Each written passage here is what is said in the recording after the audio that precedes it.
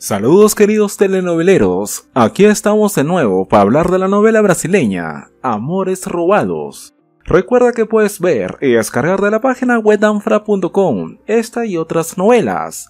Accede ya y descubrirás mucho contenido de interés. Sin más, comencemos.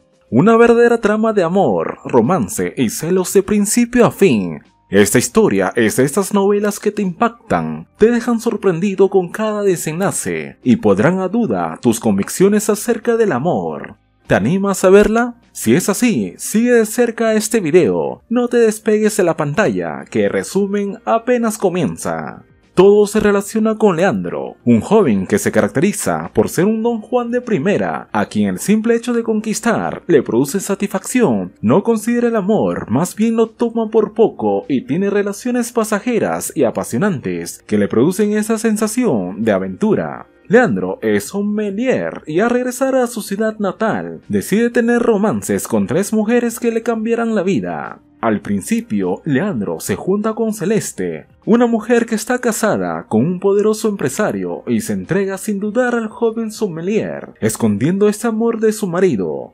Leandro, por su parte, no consigue llenar ese vacío y se involucra con Isabel, la esposa de su patrón. Ya llevamos dos mujeres, dos historias y un mismo joven desenfrenado. La narración en escenas tendrá un giro inesperado cuando Antonia, hija de Isabel y su patrón, se enamore de este joven perdidamente, tanto que Leandro cuestiona las creencias que tiene acerca del amor y cambia. Su corazón se inclina a este joven, quien lo amará con toda su apasionante alma, hecho que él también pondrá en práctica. Sin embargo, el patrón se da cuenta del engaño de su mujer y el joven sommelier, Leandro, desaparece días después. ¿Qué piensas tú? ¿Coincidencia? ¿Qué pasará con Leandro y las tres mujeres que han quedado enamoradas de él? Para saber todo esto tienes que descargar de inmediato la novela con nosotros. Recuerda que esta y otras novelas las puedes ver y descargar por danfra.com. No olvides suscribirte a nuestro canal y activar la campanita para las notificaciones. Nos vemos pronto.